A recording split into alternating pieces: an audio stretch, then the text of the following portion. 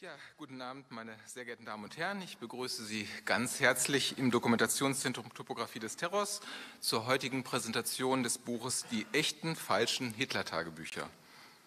Ich begrüße die Zuschauerinnen und Zuschauer hier im Saal und diejenigen, die uns an ihren Endgeräten folgen, denn diese Veranstaltung wird wieder live gestreamt. Sie, also die Zuschauerinnen und Zuschauer daheim, haben auch die Möglichkeit, sich virtuell an der Diskussion zu beteiligen. Sie können per E-Mail Fragen stellen die dann in der anschließenden Diskussion beantwortet werden. Die E-Mail-Adresse lautet diskussion.topographie.de. Diskussion.topographie.de. Die E-Mail-Adresse wird während der Veranstaltung auch laufend eingeblendet. Bitte machen Sie von dieser Möglichkeit Gebrauch, sich äh, so zu beteiligen. Die heutige Veranstaltung führen wir gemeinsam mit dem Moses Mendelssohn Zentrum für europäisch-jüdische Studien durch. Sie ist Teil der Reihe Rechtsextremismus in Vergangenheit und Gegenwart. Ein weiterer Veranstalter ist der März Verlag, in dem das Buch erschienen ist. Ich begrüße ganz herzlich den Verleger, Herrn Richard Stoiber.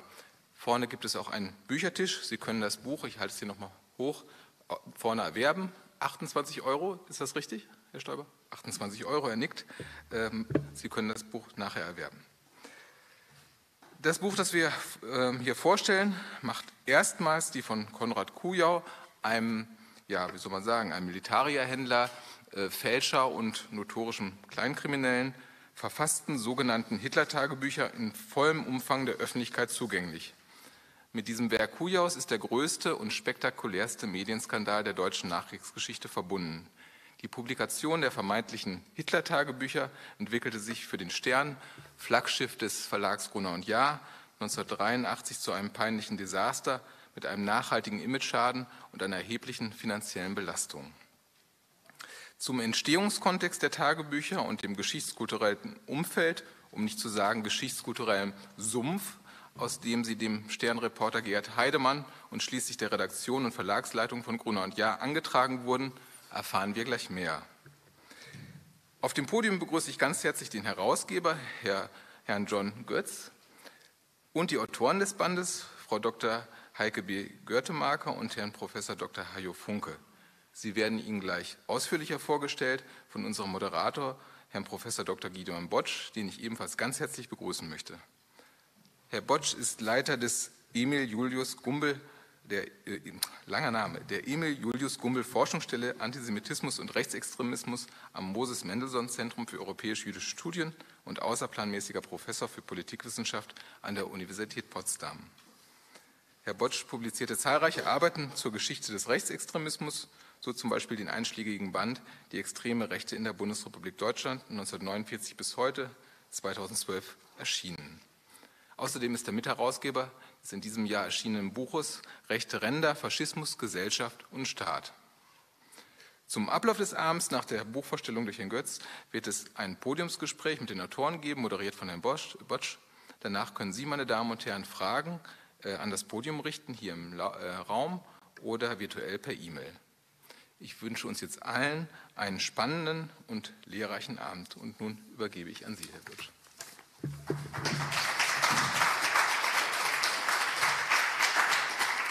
Ja, vielen herzlichen Dank für die freundliche Begrüßung. Sie haben schon gemerkt, dass wir eine Art verbalen Stolperstein für Emil Julius Gumbel gesetzt haben, denn ähm, die Länge des Titels führt tatsächlich immer zu einem Stolpern. Aber das ist nicht unerwünscht, denn wir sind ja auf unseren Namenspatron sehr stolz. Und wenn Sie sich mal angucken, wer dieser Gumbel gewesen ist, ähm, dann verstehen Sie vielleicht, warum das so ist. Wir setzen mit dieser heutigen Veranstaltung heute Abend ähm, die Reihe, die wir letztes Jahr begonnen haben, zusammen mit der Topographie des Terrors ähm, fort, äh, wenn wir uns den gefälschten Hitler-Tagebüchern widmen.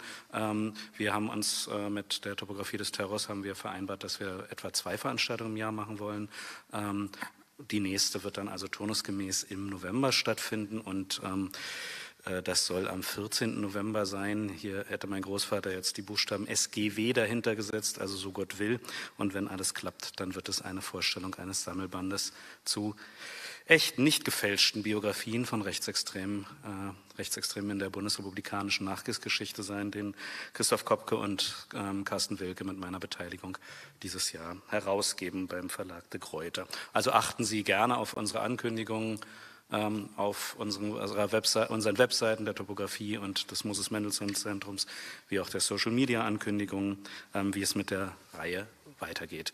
Ähm, für, die heute, für den heutigen Abend können wir tatsächlich alle drei an der Dokumentation ähm, der gefälschten Hitler-Tagebücher ähm, beteiligten äh, Persönlichkeiten aufs Podium bringen, was mich ganz besonders freut. Den Herausgeber des Bandes, äh, John Götz, ähm, John Götz ist ähm, investigativer Journalist. Er schrieb oder schreibt unter anderem für die Sunday Times, Los Angeles Times und Süddeutsche Zeitung.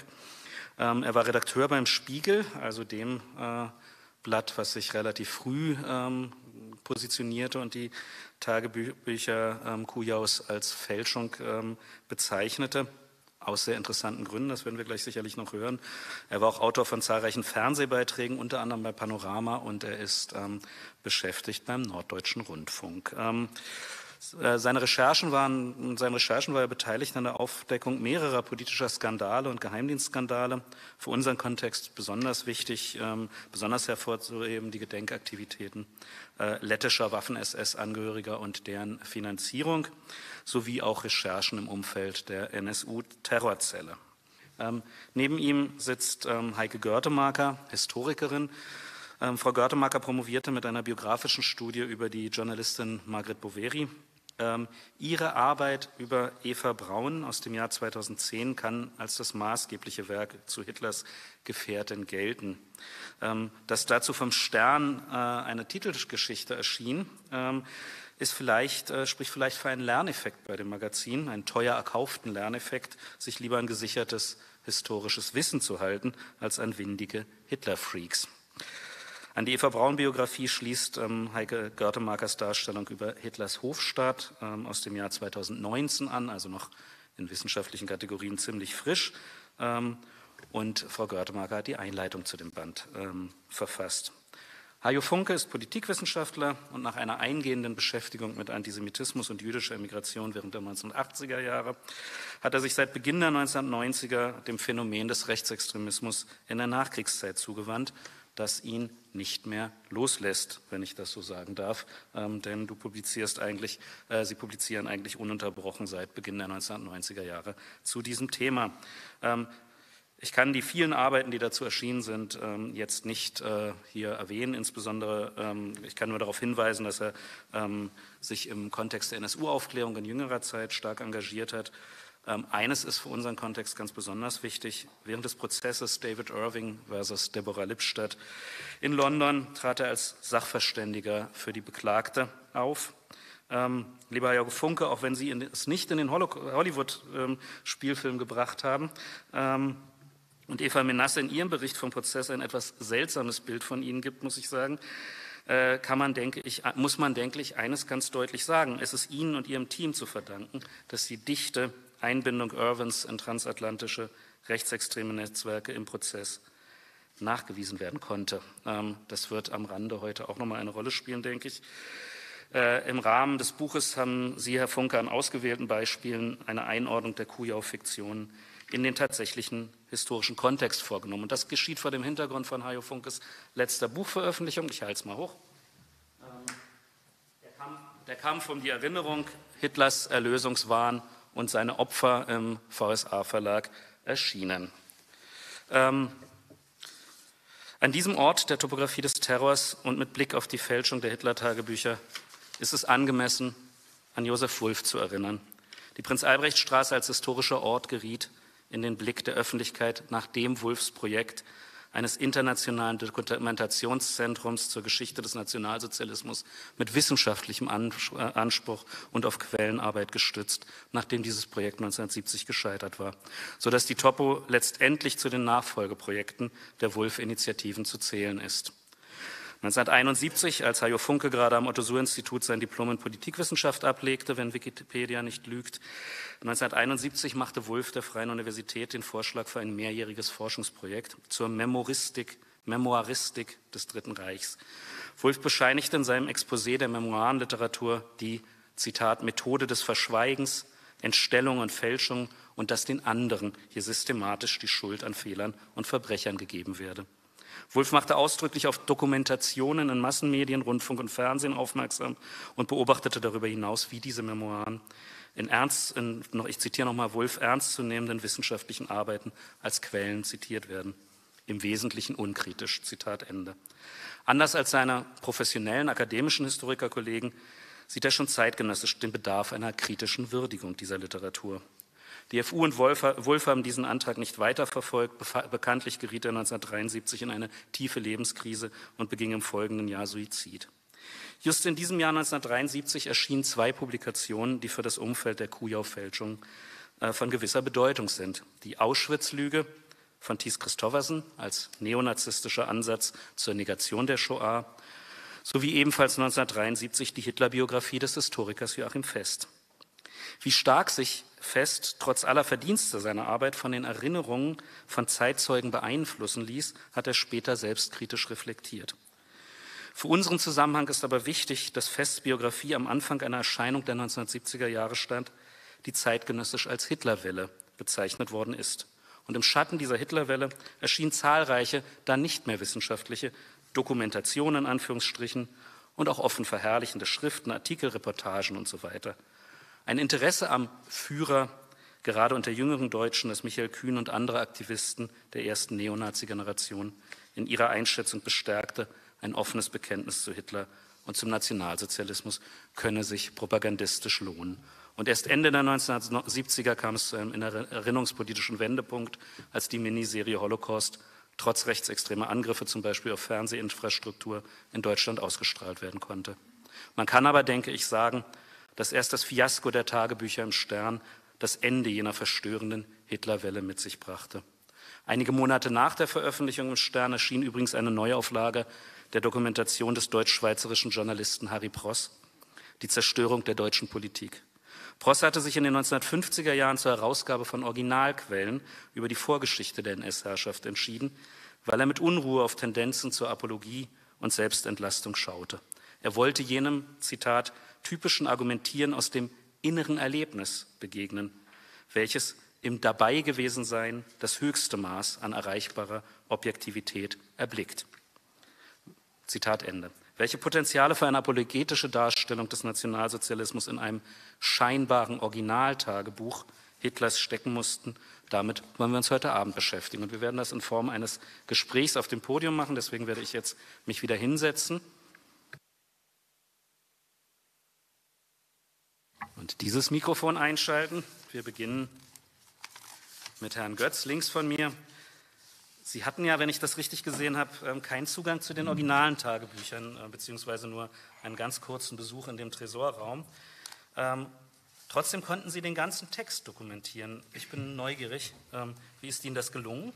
Und was haben Sie bei Ihren Recherchen über den Kreis um Konrad Kujau erfahren? Ich wollte mal kurz nur sagen, wie ich überhaupt zu dem Thema gekommen bin. Als ich, ich glaube es war 2007, angefangen habe beim Spiegel als Redakteur begegnete man immer wieder Kollegen, die zu der Nannenschule gegangen sind. Und vorher war das mir kein so richtiger Begriff. Und man merkte, da gab es so, eine, so, ein, so ein Verehrungskult um diese Nannenschule. Und dann, glaube ich, 2010 habe ich selber diesen Nannenpreis gewonnen für eine Spiegelgeschichte. Und ich wusste wirklich nicht viel über den, außer dass er anscheinend ja, ein verehrter so Vorbild für Journalisten sei. Und da habe ich mich schon damals damit angefangen, so wer ist dieser Mann und warum sozusagen. Ähm, und ich weiß, wie ich das ziemlich merkwürdig fand, als ich herausgefunden habe, dass er der Herausgeber vom Stern war, als Stern die größte Blamage der Geschichte des deutschen Journalismus. Also, und ich fand das also relativ unerklärlich, wie man einen Preis in eine Schule nach jemandem nennt, der verantwortete der größte Skandal und Blamage des deutschen Journalismus. Das war für mich schwer zu begreifen. Also, und habe dann sozusagen mich immer wieder ähm, danach gefragt, also wie das sein kann und, ähm, und kam dann auf die Idee, irgendwann mal sozusagen also, äh, zu lesen, was gibt es eigentlich von den Tagebüchern? Und damals, als ich angefangen habe, so 2012, 13 in der Zeitraum, Es gab nur zu lesen die Auszüge, was in die ersten zwei Ausgaben von Stern damals erschien. Es gab eigentlich zwei Ausgaben, eine dritte ist vorbereitet, also nie erschienen, aber wo Auszüge aus den Tagebüchern da vorkommen. Und äh, eigentlich sind die geschriebenen Geschichten, die sind nicht nur Auszüge, wo nur Zitate vorkommen. Und da dachte ich, ja, das muss man da irgendwie lesen können. So was ist eigentlich sozusagen, das hat man irgendwie gelernt, denkt man so Primärquelle, ne? so was ist eigentlich sonst da drin. Und es war für mich erstaunlich, dass eigentlich in diese ganzen Bücher und die wissenschaftliche Aufarbeitung der Hitler-Tagebücher, dass niemand die jemals gelesen hat. Also ich bin bis heute irgendwie also verdattert davon, dass man 40 Jahre lang sehr viel darüber reden kann. Also richtig zu viel, also so bis zu der Punkt, wo man irgendwie das gehört hat, oh Gott, das Thema will ich nicht mal hören. Also, und niemand, die auf den, die, die Arbeit gemacht hat, die Tagebücher tatsächlich zu lesen. Und das ist wirklich der Fall. Also wenn Sie sehen, die Publikation, die es gibt, auch die wissenschaftliche, es hat niemand die Tagebücher gelesen. Also außer diese Auszüge, die im Stern am Anfang sozusagen sind. Und da habe ich mich gefragt, wo findet man die? Und es ist, also es gab so mal eine Pressemeldung, also Stern gibt die Hitler-Tagebücher an das Bundesarchiv. Und da rief ich damals das Bundesarchiv an und sagte, ja, ich würde da irgendwie gerne lesen. Ähm, nee, äh, die, Presseerklärung gab es und so, aber es ist nie äh, zustande gekommen. Und dann, wenn man in die, die Polizeimuseum in Hamburg gibt es ein Band, es ist hinter einer Vitrine und man darf aber äh, das Tagebuch nicht lesen. Ne? Auch in Haus der Geschichte gibt es auch ein Band, wo auch die gleichen Regelungen, also die, die Übergabe, sozusagen Vertrag, also sogar bei in diese Polizeimuseen in Hamburg war das so, also bis unsere Veröffentlichung, dass sogar in der virtuellen ähm, Durchgang der Polizeimuseum Hamburgs haben die die Tagebücher verzerrt das dürfte man irgendwie auch so an den Vorbeilaufen nicht lesen. Ne? Und ich dachte, also, hä? das kann echt nicht wahr sein. So. Und dann eben habe ich dann erkundigt beim Stern und es stellte sich raus, dass es da in ein Tresur beim Stern waren die 60 Bänder. Und äh, wenn man äh, am Anfang gefragt hat, also dürfte man die nicht, also nein, gar nichts. Ähm, äh, mehrere Jahre später hieß das, dass man ähm, eine Stunde in den Raum dürfte und die 60 Bände unter Aufsicht nicht fotografieren dürfte. Und man muss auch wissen, das ist Altschrift, das ist also so auch eine Mischmasch von verschiedenen Altschriften. Und ich sage mal, mit einer Stunde mit Aufpasserin könnte man vielleicht drei oder vier Absätze lesen. So, man, das ist sehr schwer zu lesen, den Kram. Ähm, Gut, entschuldigen, dass ich so lange ausgeschwafelt habe, aber also ähm, wie sind wir an die Tagebücher gekommen? Es gab damals eine Journalistin, also die von der Sunday Times damals beauftragt worden ist, den Fall zu untersuchen, weil die Sunday Times ist auch betrogen worden damals. Und die Sunday Times hat Gitta Sereni, eine damalige sozusagen Journalistin, also ähm, ja, also die mit historischen Themen viel zu tun hatte, ähm, hat dann sechs Monate lang von Rupert Murdoch irgendwie den Auftrag bekommen, zu untersuchen. Und in ihr, also als sie gestorben ist, haben, haben ihre Kinder ihre Papiere alles weggeschmissen, also und es also wollte irgendwie nichts aufheben. Und die Papiere sind gelandet in so einen Rare Books Dealer, der eigentlich ähm, den Kram wegschmeißen wollte. Und äh, da hatten, hatte mein Kollege Antonius Kempmann äh, Kontakt mit ihm aufgenommen und dort haben wir dann die erste Bände aus den 30er Jahren äh, in Fotokopieform gefunden. Und das war so 2014 so ungefähr. Ähm, es war aber nur die 30er Jahre und da sieht man schön, wo die Reise hingeht. Da sieht man schön, wenn man das anguckt. Äh, das ist ein anderes Hitlerbild. Also da ist Hitler irgendwie gegen äh, die Nürnberger Rassengesetze und also da, da kriegt man schon mit. Aber eigentlich, es war nur, als wir die 40er Jahre gefälschte Tagebücher bekommen haben, war man sicher, was eigentlich sozusagen das Projekt war. Äh, und das haben wir in den Vorlass von den Kujau Strafverteidiger Kurt Groenewold bekommen.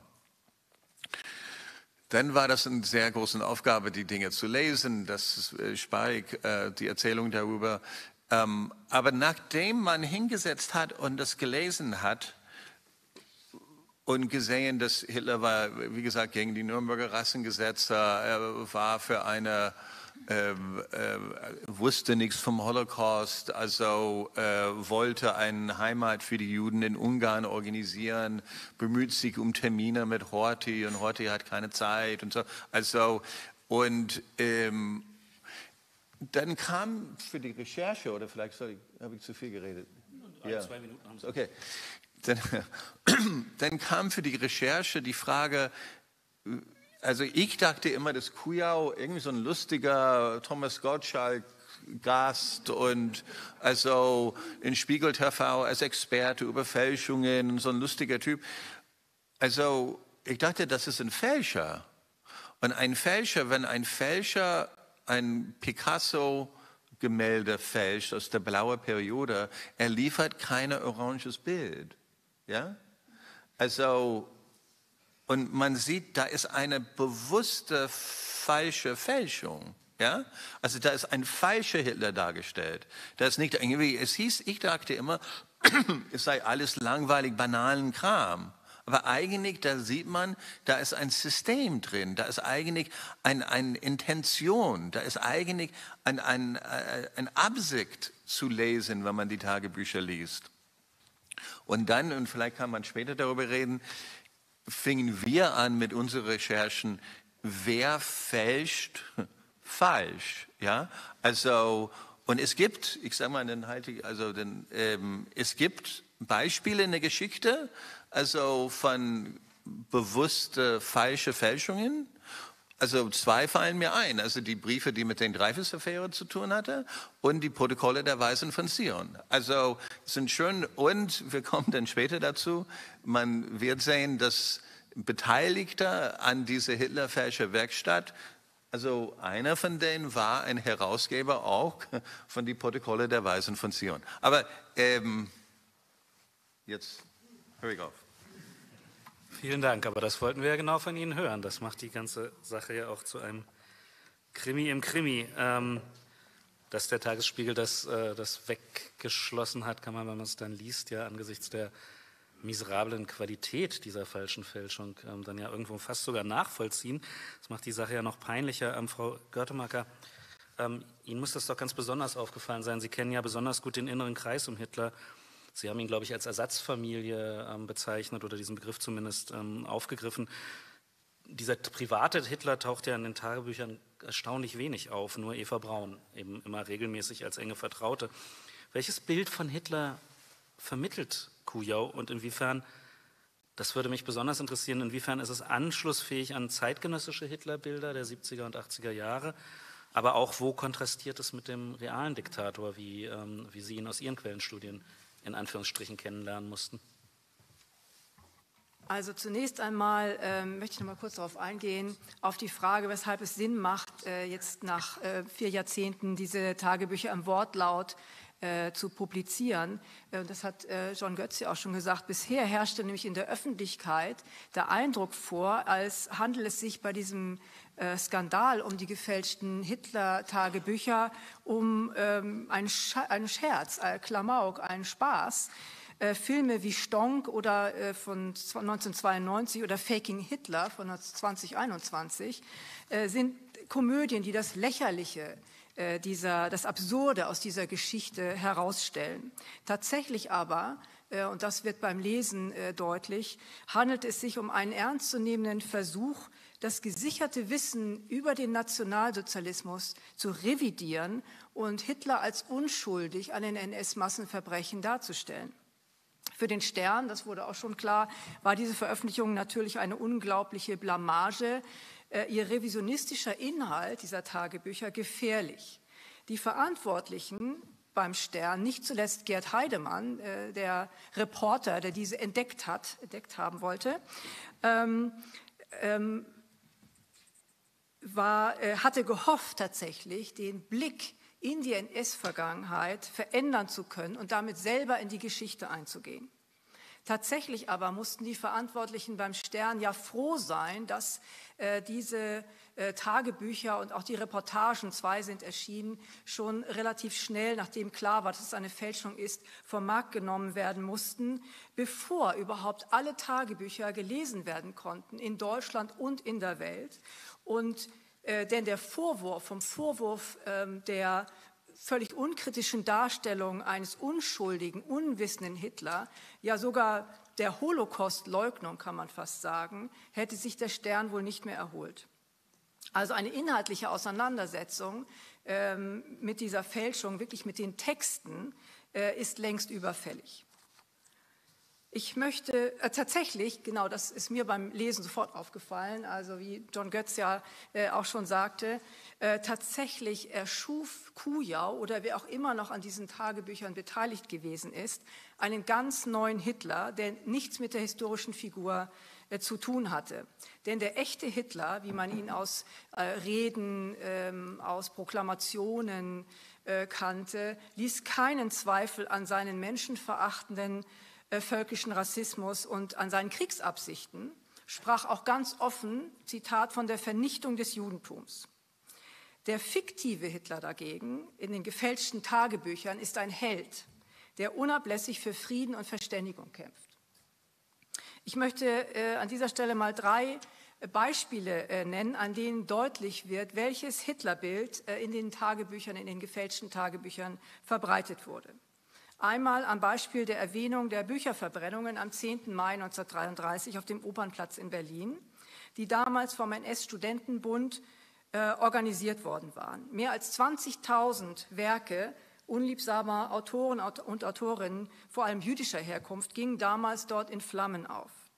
In der Darstellung Kujaus wusste Hitler nichts von der Verbrennungsaktion, lehnte sie sogar ab.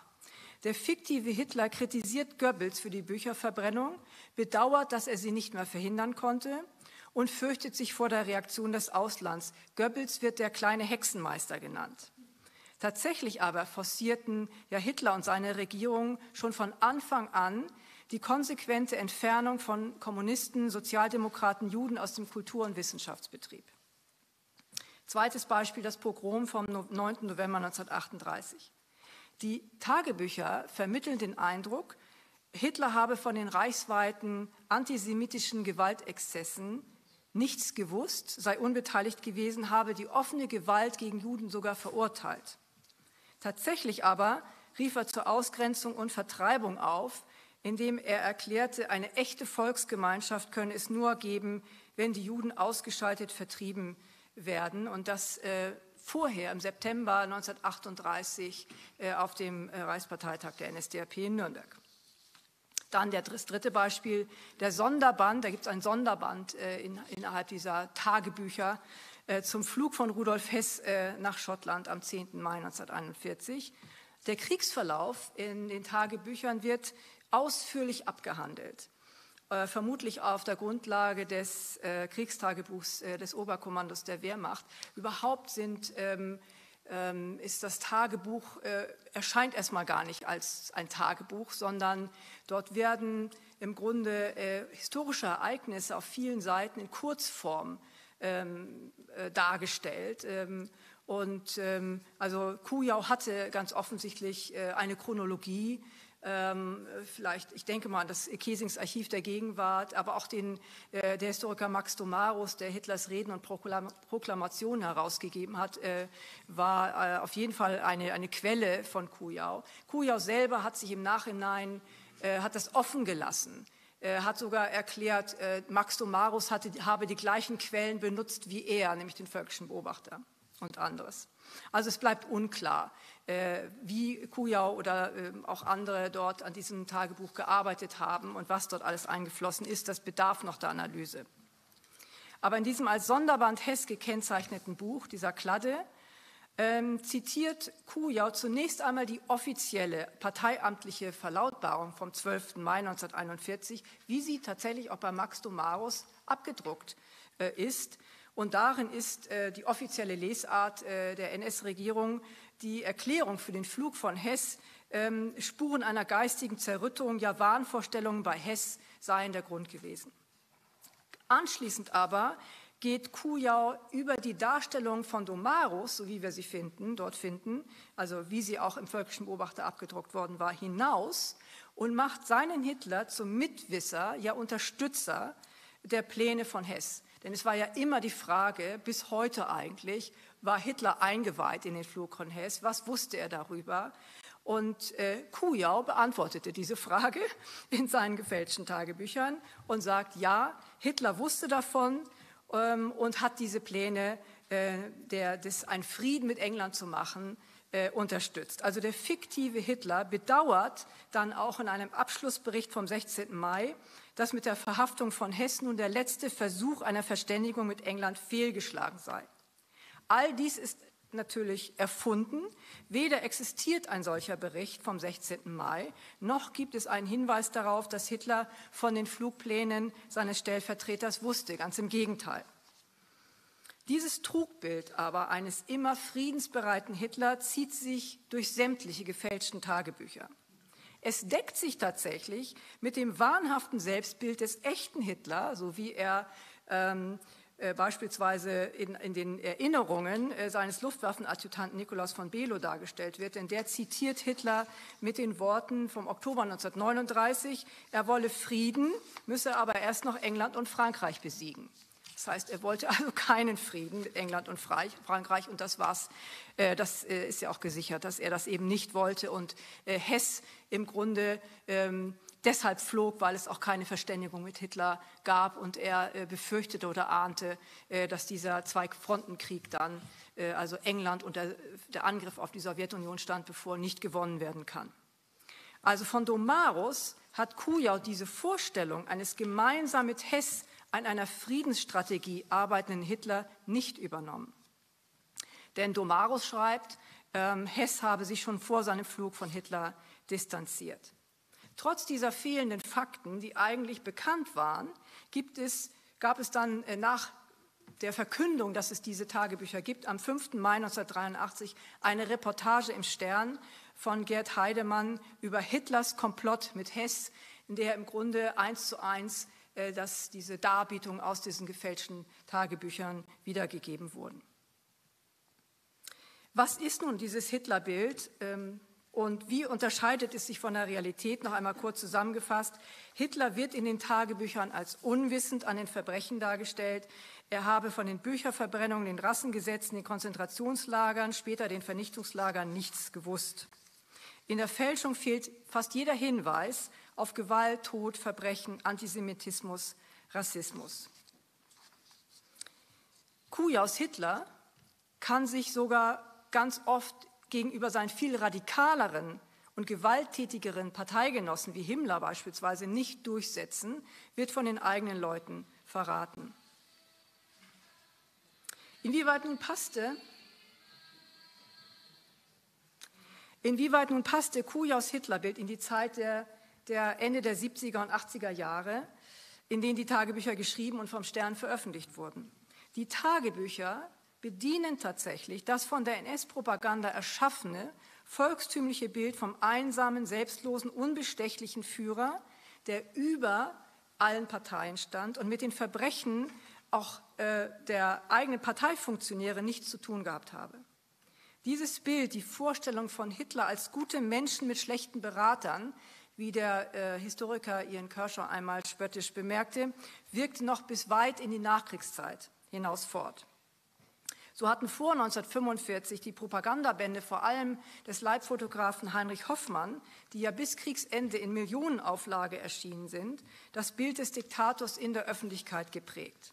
Mit diesen Bildbänden wie Hitler, wie ihn keiner kennt, von 1932, Hitler in seinen Bergen, Hitler abseits vom Alltag, Hitler erobert das deutsche Herz, wurde der NS-Führer geschickt in Szene gesetzt und Hoffmann erschuf äh, gemeinsam mit Hitler natürlich, aber auch mit anderen äh, NS-Größen wie Baldur von Schirach, das Image eines genialen, väterlichen Führers, dessen Güte und Volksnähe äh, ihn zum einzigen Hoffnungsträger der Deutschen macht, nämlich der Volkskanzler, ähm, der äh, jetzt sozusagen den Volkswillen äh, umsetzt. Schon damals gab es ein unstillbares Verlangen des Publikums nach Bildern.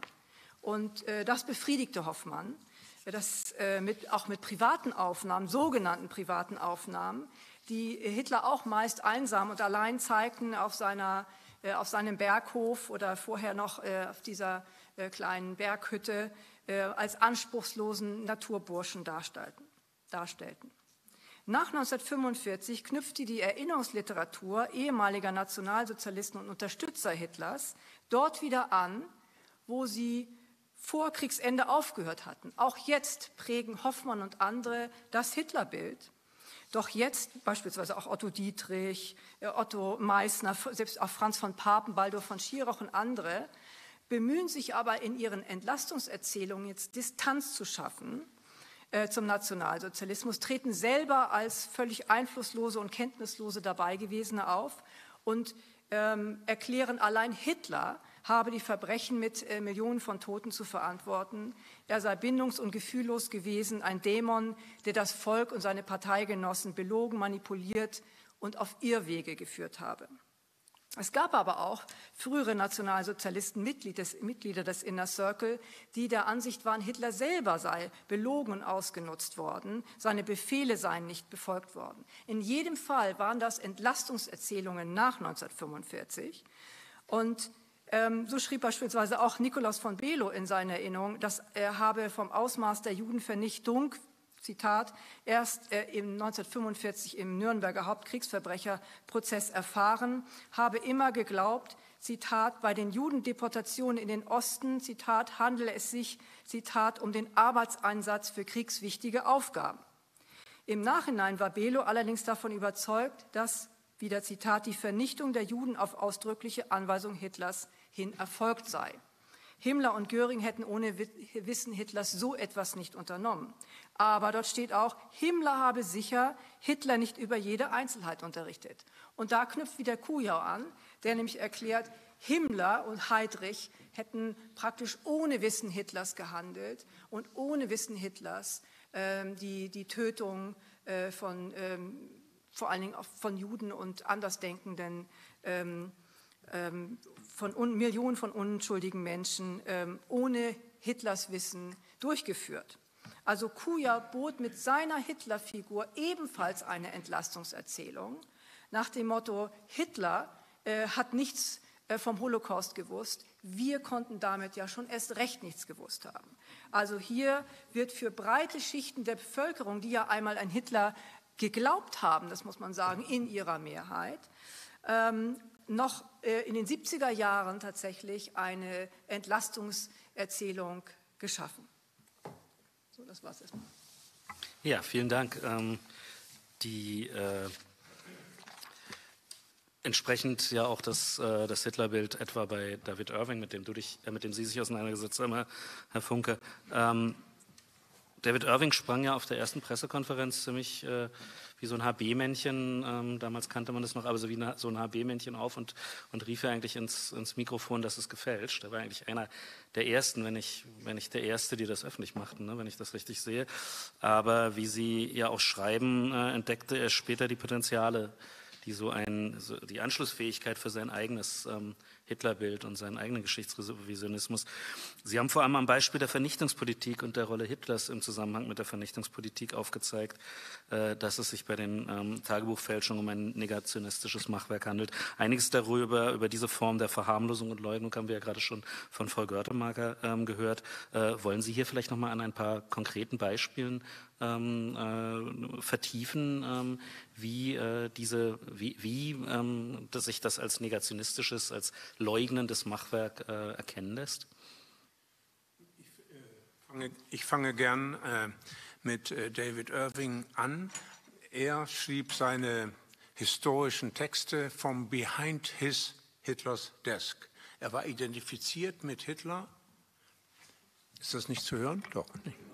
Er war identifiziert mit Hitler äh, und hat ganz ähnlich, wie Sie es gerade noch mal sehr ausführlich schön beschrieben haben, ähm, geglaubt, er kann Hitler als gütigen, äh, der vom Holocaust nicht wirklich was wusste, beschreiben es. Sehr viel mehr in das historische Material das, hat hineingegangen, hat es manipuliert. Und der Sinn, und das ist sehr schön von, von Browning und, und anderen Historikern aufgeschlüsselt und denunziert worden. Er war kein Historiker, er hat manipuliert, auch wenn er zeitweise mit dem Institut für Zeitgeschichte zu kooperieren versucht hat. Das Entscheidende war, er wollte der Rechtsextremen, der neuen deutschen, großdeutschen Bewegung äh, die Argumente liefern.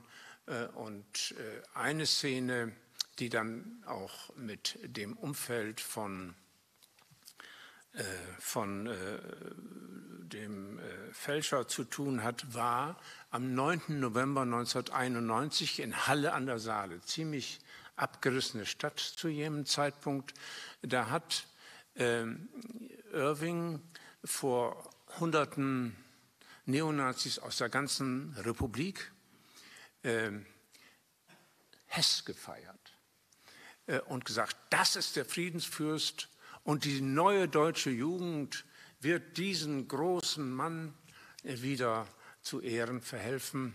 Und es gab dann Hitlerrufe, es gab dann Heil Hitlerrufe und er hat sie gelassen.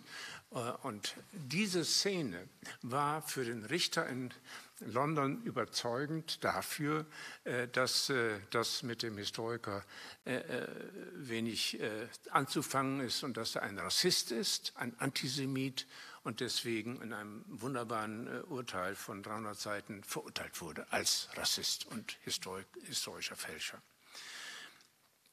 Der, die Verbindung war, wie du schon äh, gesagt hast, er meint, wir sollten uns siezen, aber ich äh, merke, dass das nicht geht.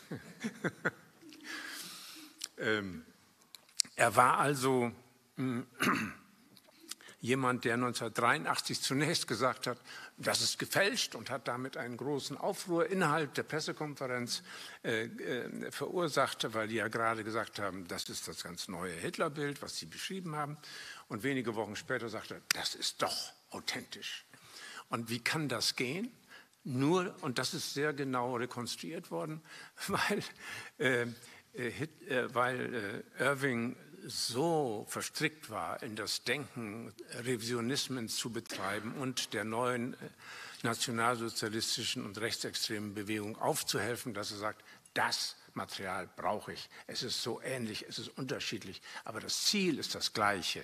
Die, die Freiwaschung, wie es einmal gehießen hat, Hitlers als, äh, als Staatsmann, der, wenn er von Holocaust und Krieg verschont gewesen wäre, äh, ein anerkannter Staatsmann gewesen wäre. Und 27 Prozent haben noch 1992, also etwa 20 Millionen Menschen in Deutschland, gesagt, das wäre ein toller, ein guter Staatsmann gewesen, wenn man von Holocaust und äh, Krieg absieht. 27 Prozent.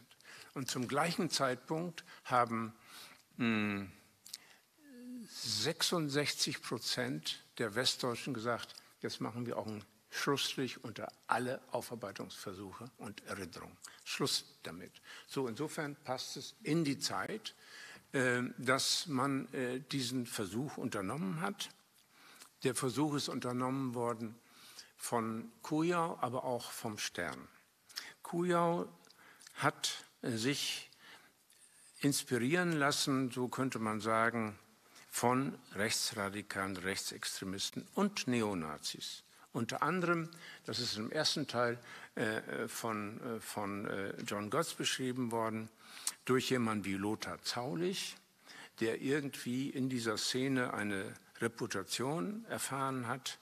Und äh, es gab Kontakte zu Peter Stöckicht, einem Abgeordneten, zeitweisen Abgeordneten der NPD und Anwalt und vor allem mit dem damals großen Strategen, nämlich Michael Kühn, der neonazistischen Holocaust-Leugnungsszene. Äh, und es gab dann auch eine Begegnung, wiederum mit, mit David Irving, zwischen Michael Kühn und David Irving und anderen, in der Konferenz, sogenannten Konferenz in München 1990, Wahrheit macht frei. Das ist sehr umstritten gewesen. Es gab dann äh, Gegenversuche äh, auch seitens der Polizei. Wer war die zentrale Figur? David Irving. Das heißt, Michael Kühnen war sozusagen ein äh, Mastermind im Hinterkopf äh, dieses Kujau. Das heißt, es gab diesen zentralen Konnex zur rechtsextremen und neonazistischen Szene. Einer von denen, die Michael Kühn begleitet haben, ist heute noch in der neonazistischen Szene aktiv. Der Mann heißt Andreas Wort, also einer der Leiter oder bisherigen Leiter der kleinen neonazistischen Partei Die Rechte. Das heißt, wir haben in dem rechtsextremen und neonazistischen Umfeld eine Beziehungsstruktur zu Kujau und dem, äh, dem, dem Text. Wir haben aber auch eine, wie angedeutet, was das Milieu anlangt. Das ist in den 80er Jahren, als das erschien, äh, große Teile der Bevölkerung äh, gab, die sagten, dieser Hitler ist ohne äh, die furchtbaren Verbrechen ein guter Staatsmann. Ich gehe jetzt noch mal im engeren Sinn auf deine Frage ein, nämlich an zwei, drei Beispielen. Also, das ist das Machwerk für 1,8 Millionen Menschen am 25. April 1983. Hitlers Tagebücher entdeckt. Dann haben Sie hier noch einmal eine große bunte Präsentation der Tagebücher und dabei äh, den Satz, die Geschichte des Dritten Reichs wird in großen Teilen neu geschrieben werden müssen. Dann haben wir, Sie haben es schon äh, erwähnt, äh, die Situation, und zwar am 25. April 1983. Das heißt, es war der Redaktion bekannt, was sie veröffentlichten. Nämlich, noch einmal, hier unten was Hitler am Terror der Reichskristallnacht nicht gefiel.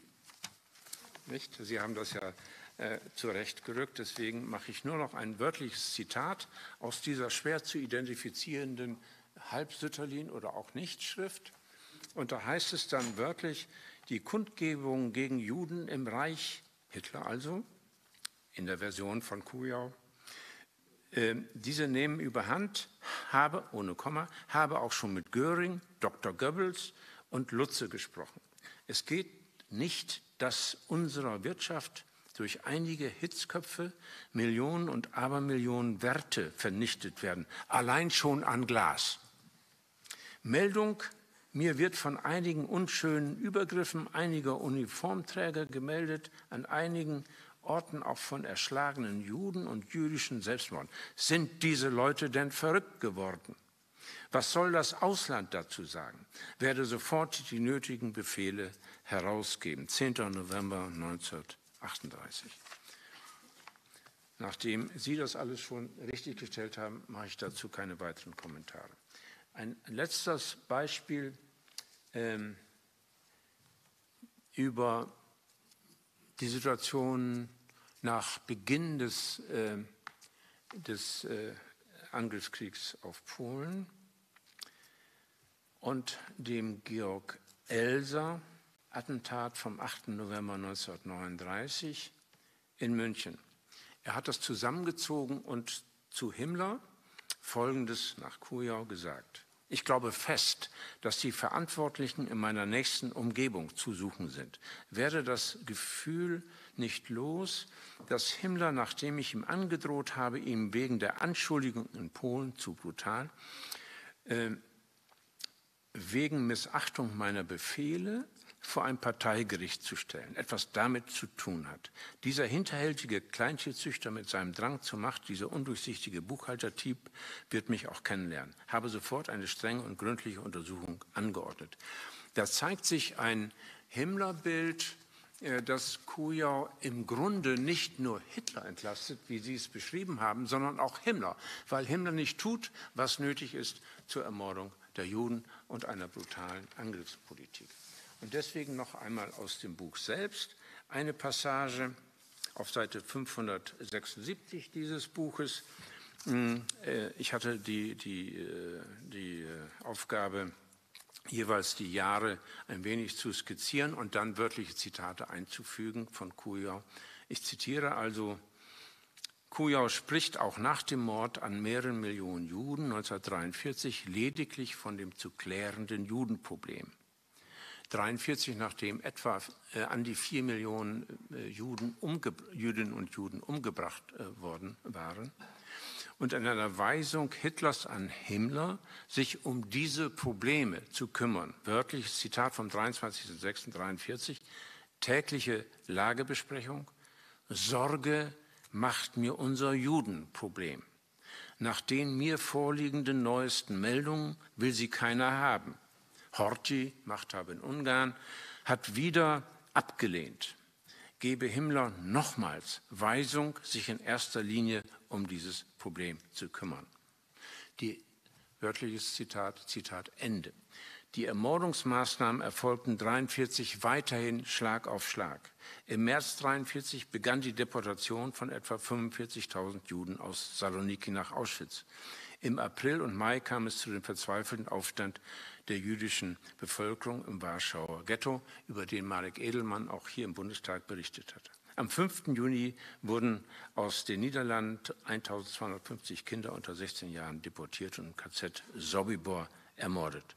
Am, Juni, am 7. Juni erhielt Himmler die Ergebnisse von medizinischen Experimenten mit Menschen. Im KZ Ravensbrück wurden Frauen zur Untersuchung von Sterilisationsmethoden missbraucht. Am 21. Juni befahl Himmler die Auflösung aller jüdischen Ghettos in Polen. Der Weg der Ghettobewohner führte über die Vernichtungslager in den Tod. So, und zwei Tage später kommt diese Aussage, die sagt, Sorge macht mir unser Judenproblem, wir müssen sie irgendwo hinbringen. Und das zeigt das ganze Ausmaß der Verzerrung, der Entkernung dessen, um was es im, im, im Nationalsozialismus und mit Hitler ging. Und damit schließe ich. Herzlichen Dank erstmal für diese Einblicke, die ähm, dass das konsistent ist mit rechtsextremen Geschichtserzählung der Zeit ist, glaube ich, ähm, sehr deutlich jetzt geworden äh, durch die Beispiele, ähm, dass wenn Sie zum Beispiel gucken in das 1980 erschienene Buch Ich Adolf Eichmann mit dem Vorwort von Rudolf Aschenauer, da finden Sie einen, genau einen Hitler, wie Kujau ihn zeichnet, einen, der keine, der keine Vernichtung will, sondern nach einer territorialen Lösung sucht. Ähm, das Bild Himmler, Heydrich, eine kleine Clique, die möglicherweise sogar selbst jüdisch ist, ähm, hat äh, die, ähm, die Vernichtungspolitik in viel kleinerem Umfang, als es behauptet wird, durchgeführt. Ähm, das äh, geschah eigentlich im Wesentlichen, um die Zionisten zu unterstützen und den Staat Israel quasi vorzubereiten. Das ist eines der relativ frühen Motive, ähm, das äh, im Rechtsextremismus verbreitet wird. Und das erklärt, erklärt vielleicht auch, warum Kujau, wenn wir ihn als rechtsextrem lesen, so vehement sozusagen Himmler und Heydrich hier ähm, äh, die Schuld zuschiebt und Hitler als hintergangen zeigt. Ich bin trotzdem, ähm, ich frage mich trotzdem, ganz praktisch, auf welche Quellen sich Kujau denn stützen könnte, womit er denn gearbeitet hat. Frau Görtemacker, Sie hatten ja schon ähm, äh, zwei Dinge erwähnt. Ähm, Domaros, äh, glaube ich, vierbändige Ausgabe der, der Hitler-Reden, ähm, Kesings Archiv der Gegenwart und das Kriegstagebuch der OK, äh, des OKW, das ja damals, glaube ich, auch schon relativ gut greifbar publiziert war. Ich habe mal noch ein paar andere Stichproben gemacht. Ähm, zum Beispiel Aschenauers Vorwort enthält eine Reihe von, zu diesem Buch Ich Adolf Eichmann im rechtsextremen Druffel Verlag, enthält eine Reihe von taggenauen Tagesangaben, äh, ähm, Einträgen, die wir bei Kujau gar nicht finden. Das, das spiegelt sich da überhaupt nicht. Ähm, ich sehe aber auch sonst in dem rechtsextremen Schrifttum vor allem auch der Memoirenliteratur ähm, sehe ich nicht, dass das unmittelbar in die Tagebücher eingeflossen wäre. Gerade äh, Ilse Hess aus dem engeren Umfeld hätte man ja durchaus ähm, zitieren können oder andere. Ich habe dann auch mal geguckt, ob, es vielleicht, ob wir vielleicht Einträge finden, die sich spiegeln mit dem originären NS-Schrifttum. Ähm, äh, ähm, eine Stichprobe, die ich gemacht habe, sind die Daten der Geschichte der NSDAP, herausgegeben von Volz, 38, relativ weit verbreitet. Da ist faktisch gar keine auffällige Übereinstimmung festzustellen. Also es ist überhaupt nicht so, dass man sagen kann, er hatte jetzt das NS-Schrifttum der Zeit im, auf seinem Schreibtisch zu liegen. Nein, also Wo ich allerdings Übereinstimmung gefunden habe, das waren so ein paar zeitgenössische Werke, also Hilgrubers ähm, mhm. Chronik des Zweiten Weltkriegs, die ja 79 und 78 in der zweiten mhm. Auflage erschienen war. Ähm, da gibt es schon ein paar deutlich auffällige Übereinstimmungen. Oder auch Droste, das Droste Geschichtskalendarium, das allerdings erst 82, 83 erschienen ist, mhm. was mir ein bisschen spät scheint, aber auch da sind die Übereinstimmungen mhm. teilweise auffallend. Ja, aber das ist schwierig zu, mhm. zu sagen. Ich meine, ich sitze da eher aufs Kesings Archiv der Gegenwart, ja. nämlich seit 1931 mhm. ist das erschienen. Aber hier verkennen wir einfach, unter welchem Zeitdruck der Fälscher gestanden hat. Mhm. Ähm, er hat ja, Kujau hat ja schon Mitte der, ähm, Anfang, Mitte der 70er Jahre gefälscht also nicht nur Briefe von Hitler gefälscht, sondern tatsächlich auch äh, Bilder, Aquarelle von Hitler. Äh, das war dann auch, äh, ist dann auch durch die Presse gegangen.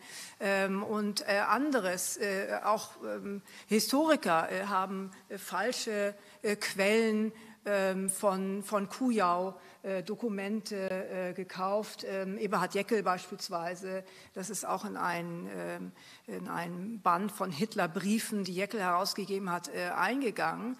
Aber ähm, nachdem er, was er zunächst nicht wollte, das Tagebuch existierte ja schon Jahre vorher, ein Tagebuch, das Kujau geschrieben hat, nachdem er dann diesen Kontakt zu Gerd Heidemann hatte, der davon gehört hat, von diesem Tagebuch und unbedingt den Kontakt zu Kujau wollte, den Kujau erst offenbar nicht wollte, weil er natürlich als Fälscher nicht auffallen oder auffallen wollte, aufgedeckt werden wollte. Also für ihn war das natürlich auch ein, ein gefährliches Unterfangen.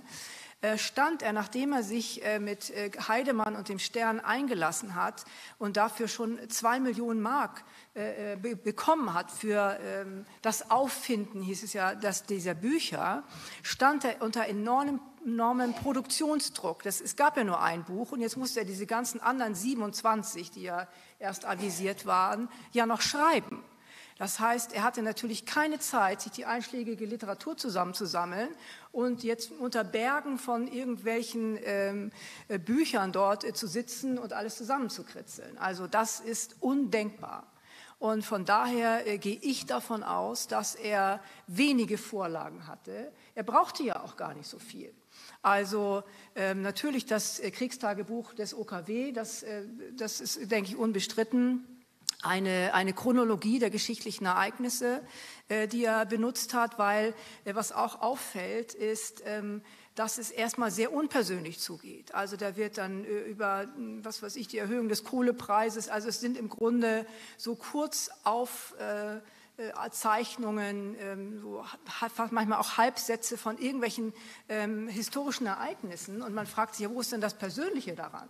So, das kommt dann erst am Ende äh, eines Tagebuchs, wo es dann tatsächlich auch heißt, persönlich, privat und wo dann dieser fiktive Hitler noch einmal äh, dann tatsächlich auch auf Parteigenossen, Eva Braun ist eben immer ein Thema oder persönliche Gedanken sozusagen eingeht. Aber zunächst mal ist es ziemlich unpersönlich. Also ich denke Chronologie, äh, dann natürlich Domarus, äh, denn mit Domarus hatte er ja ein Itinerar. Also er wusste, wo ist Hitler gewesen. Denn das sind im Grunde die Reden, Proklamationen, bei Max Domarus abgedruckt aus dem Völkischen Beobachter, äh, so wie sie damals im äh, Völkischen Beobachter erschienen sind. Also wenn Hitler eine Rede hielt, dann ähm, war die natürlich im Völkischen Beobachter abgedruckt und dann konnte man auch sehen, wo hat er sie gehalten, wann hat er sie gehalten, vor welchem Publikum hat er sie gehalten. Das findet sich bei Domarus wieder und das konnte dann auch Kujau sehen. Nur was er macht, ähm, oft wird ja gesagt, er hat den Domarus abgeschrieben. Das stimmt eben nicht. Denn der Hitler in Domarus ist im Grunde, sagen wir mal, der authentische Hitler, wie er auch in seinen Reden erscheint. Nur diese, der Inhalt der Hitlerreden, den übernimmt Domarus, äh, den übernimmt Kuja nicht, weil er ja eine ganz andere Hitlerfigur kreieren will, die mit diesem Hitler, wie er in seinen Reden tatsächlich erschienen ist, mit einer brutalen Sprache, zynisch, antisemitisch, rassistisch, das kommt eben bei Kuja nicht vor. Na, das ist ein ganz anderer, andere, das ist ein Hitler ist im Grunde bei Kujau ein Held. Und man merkt auch, äh, wenn man das liest, dass sich dieser Kujau oder wie auch immer, Kujau selber persönlich auch, sich damit identifiziert hat tatsächlich. Sagte er auch später in einer äh, Talkshow ganz stolz. Aber sicherlich, wie auch äh, deutlich wurde, ist nicht nur allein er für, dieses, ähm, für dieses Werk da verantwortlich zu zeichnen. Aber, und dann ist auch wichtig nochmal, sowohl Kujau als auch Heidemann bewegten sich in einem Umfeld von Altnazis. nicht nur Neonazis.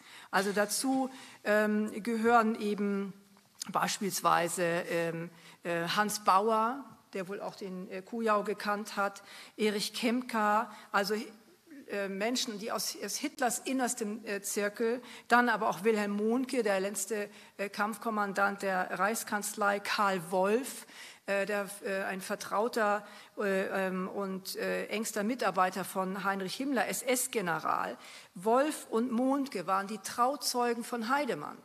Also Heidemann hat ähm, einen, einen ganz engen Kontakt äh, zu diesen, äh, unter anderem auch zu Edda Göring, Wolf Rüdiger Hess, zu diesen äh, Nazis und, äh, und ihren äh, ja, Kindern im Grunde auch gesucht, hat sich mit ihnen getroffen. Ähm, äh, dann war Heidemann besessen davon der Vorstellung, dass Bormann noch lebt, ist also mit, ähm, tatsächlich mit Karl Wolf nach Südamerika gereist, um Bormann zu finden und solche Sachen. Also da sieht man das Ausmaß auch des Wahns, der dort stattgefunden hat.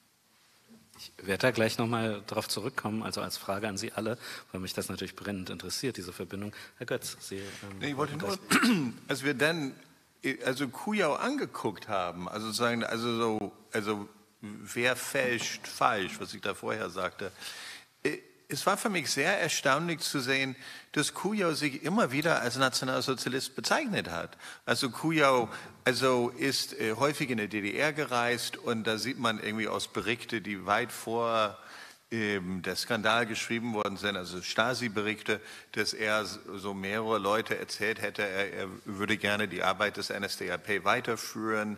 Also er hat äh, neonazistische Literatur in der DDR eingeschmuggelt. Er ist in Stuttgart mehrfach mit SS-Uniform durch die Stadt gelaufen. Also Sieg Heil, also, also hat er häufiger da in sein Stammlokal irgendwie gerufen. Also er trug ein Hakenkreuzring, also auch bei seiner Verhaftung. Also die, die, was, die, die Vorstellung, dass er da nur dieses so Witzbold sei, ne? dieses so lustige Mann, also widersprach eigentlich, was Likes zu finden sei über ihn. Und dann fingen wir an, sozusagen in sein Umfeld zu recherchieren. Und darüber kann ich auch reden, aber ich wollte nur das kurz wegen Kujau und sein, also sein Selbstverständnis. also, noch mal ein kleiner ist nicht, meine, meine, nicht meine Analyse, es ist sein Selbstverständnis. Sein Vater, Kujaus Vater, war Mitglied der NSDAP seit 1931.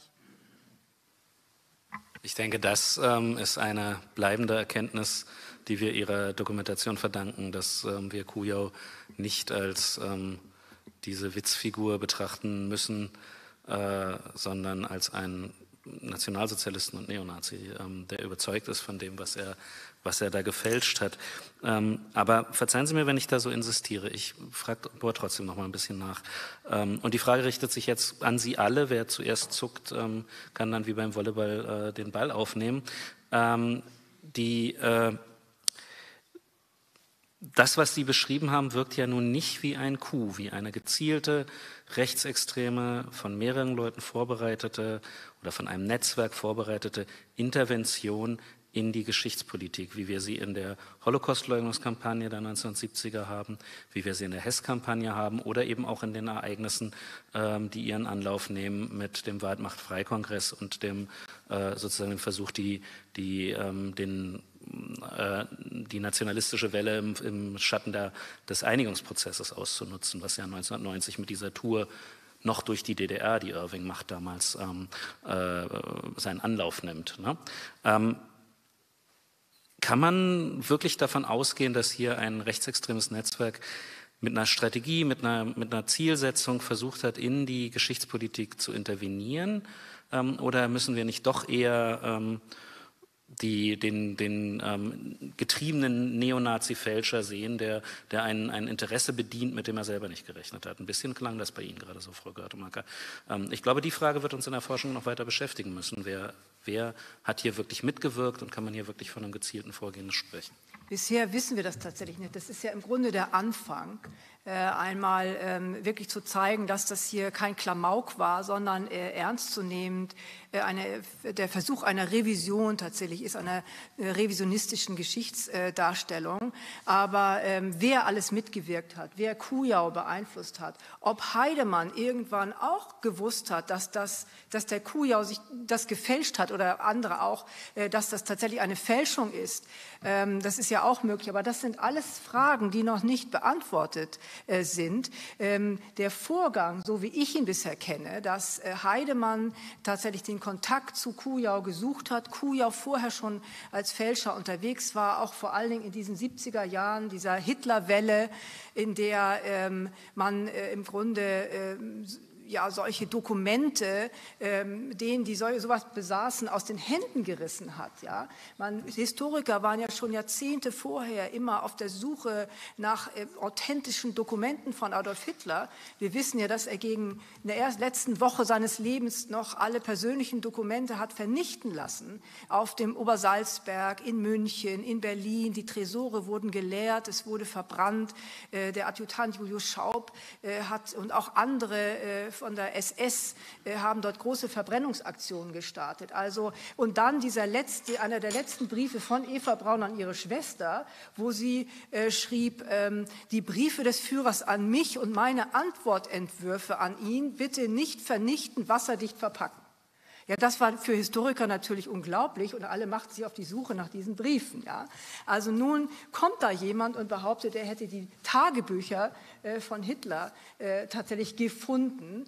Äh, das war eigentlich zu gut, um wahr zu sein und äh, äh, die Journalisten konnten dem äh, eigentlich kaum widerstehen. Aber ob das jetzt eine gezielte Aktion war, diese, ähm, wie gesagt, Heidemann sucht den Kontakt zu Kuja, so wie wir das, wie ich das bisher weiß, ähm, das muss sich noch zeigen. Also bisher denke ich nicht, dass es eine, eine solche gezielte, äh, verabredete Aktion von Anfang an gewesen ist. Das zwar nicht.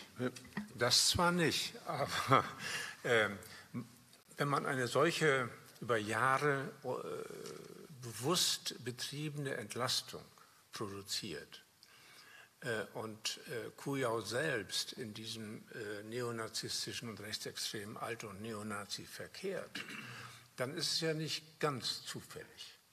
Und äh, meine Erfahrung im Bereich des Rechtsextremismus und des Neonazismus hm, zeigen, dass es ein großes Interesse gab zu dieser Entlastung. Und zwar in diesen zentralen Elementen, Antisemitismus, Rassismus äh, und, und Ermordung der Juden. Es war ein klassischer sekundärer Antisemitismus damit präsentiert.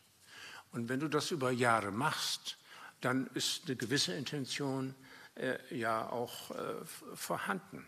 Nicht in dem Sinne, dass man sozusagen wie in einem, was weiß ich, in einem kühnenschen äh, Strategieentwurf die NSDAP wieder äh, hochholen will, aber doch in dem Sinne, dass die gesamten Aufarbeitungsversuche denunziert werden sollen, abgewehrt werden sollen.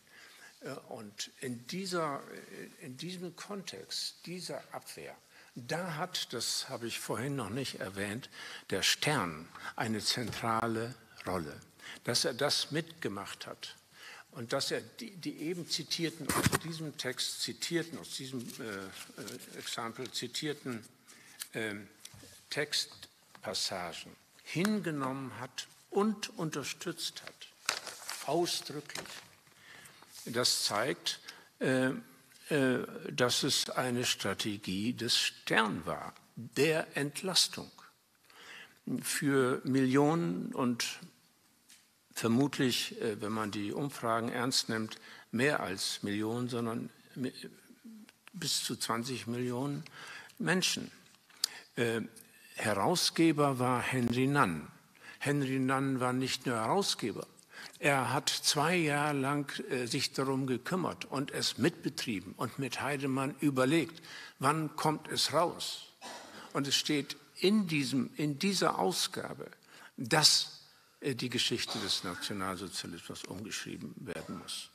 Und dann war die Chefredaktion dabei. Peter Koch, Felix Schmidt, Rolf Gillhausen, und eben die für die Zeitgeschichte zuständigen Thomas Walde und vor allem Gerd Heidemann. Nein, das war absichtsvoll und hatte zum Ziel die Entlastung Hitlers und des Nationalsozialismus und indirekt naheliegenderweise auch von Henry Nannen selbst. Ich würde gerne nur, also wir haben nicht nur die, ähm, die Tagebücher sozusagen ausgewertet. Wir haben die Ermittlungen, sagten der Staatsanwaltschaft Hamburg, also so die Ermittlungen sagten, äh, ausgewertet.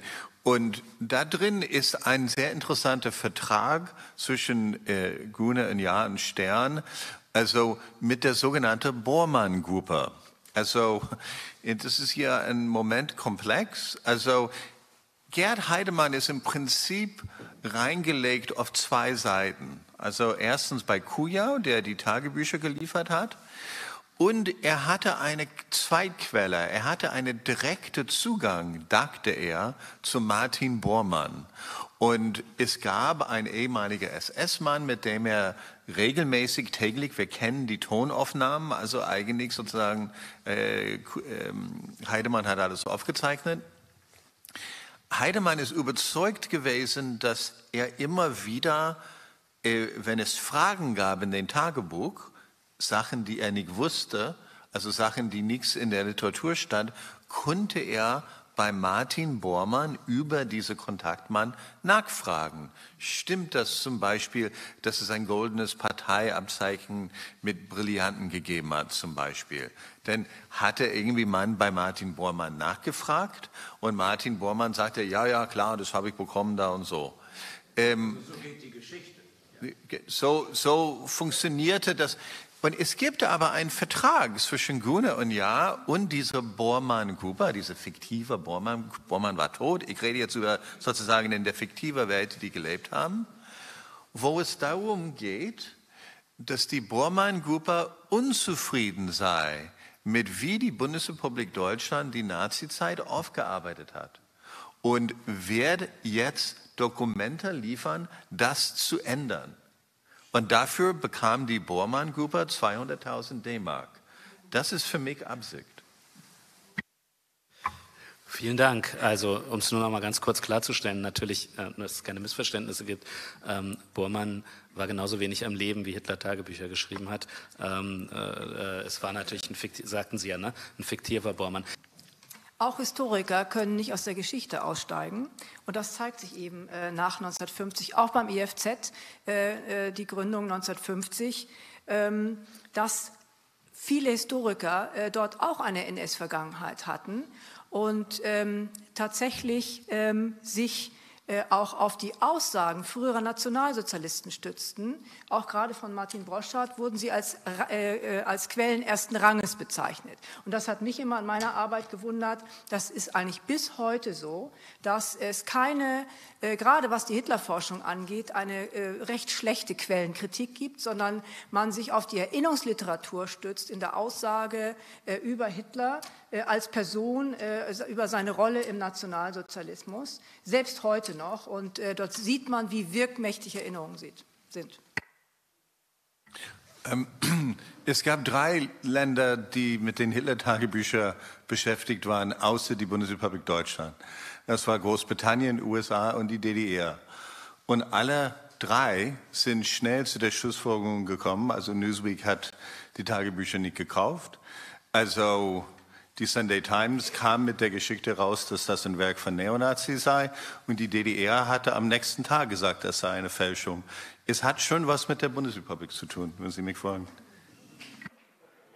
Die ähm, Forderung von Josef Wolf, mit der ich eingestiegen bin nach einer Memoiristik, äh, einer kritischen Aufarbeitung der Memoiristik des ähm, Dritten Reiches, ist bis heute nicht eingelöst und was mich als professionellen empirischen Rechtsextremismusforscher ähm, äh, ja, was ich als ein großes Manko sehe, ist ähm, auch die äh, Fülle, die wirklich große, breite Fülle rechtsextremistischer Interventionen in unser Geschichtsbild, die ähm, riesengroße Auflagen und heute auch sehr viele Angebote im Internet ähm, umfasst, äh, ist nicht in keiner Weise ähm, adäquat äh, einer wissenschaftlichen Untersuchung unterzogen worden.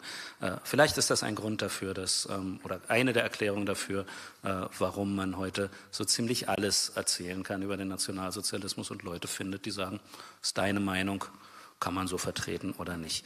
Ähm, ich bedanke mich ganz herzlich für unser Podium. Äh, wir hätten hier gerne noch eine Stunde weitermachen können. Ich glaube, das spreche ich auch für das Publikum im Internet wie äh, live hier. Ähm, wir können es aber leider nicht heute Abend. Es gibt vielleicht noch weitere Gelegenheiten. In Potsdam haben wir in ähm, Kürze im Anfang Juli einen Workshop zum Thema Negationismus, äh, der das Ganze auch thematisiert. Frau Görtemacker, Sie sind ja auch dabei, ähm, äh, der das auch thematisiert. Wenn Sie Interesse daran haben, gucken Sie sich mal auf, den, auf unserer MMZ-Webseite um. Äh, ich würde mich sehr freuen, Sie bei der nächsten Veranstaltung ähm, im November wiederzusehen. Die Topographie des Terrors wird sich sehr freuen, Sie bei den folgenden Veranstaltungen, ich glaube nächste Woche geht es gleich weiter, Frau Riedle, ne? wiederzusehen. Und mein ganz großer Dank gilt ähm, wieder mal der Technik, äh, weil wir schon wieder überzogen haben. Herzlichen Dank, wir geloben, dass wir uns bessern. Ähm, ich wünsche Ihnen allen allen einen guten Nachhause, äh, Heimweg und einen angenehmen Sommerabend ähm, und äh, dass äh, wir bald ein bisschen Regen bekommen.